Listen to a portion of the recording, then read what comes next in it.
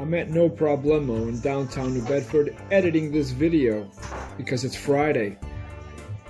This week, shot some interesting things, started working on a project about Our Lady's Chapel in downtown New Bedford. Um, it's funny because once upon a time, my last project that I ever photographed on black and white film was actually about the Franciscan Friars.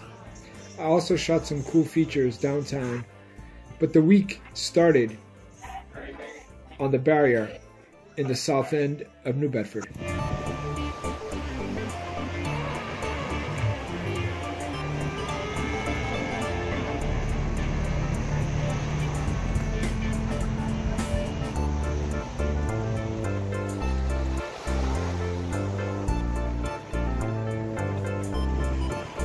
Good morning.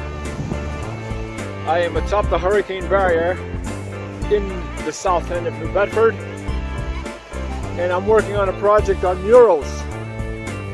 And uh, yeah, it's kind of interesting, but New Bedford all of a sudden has quite a few murals painted throughout the city. So there are a couple of hidden gems out here.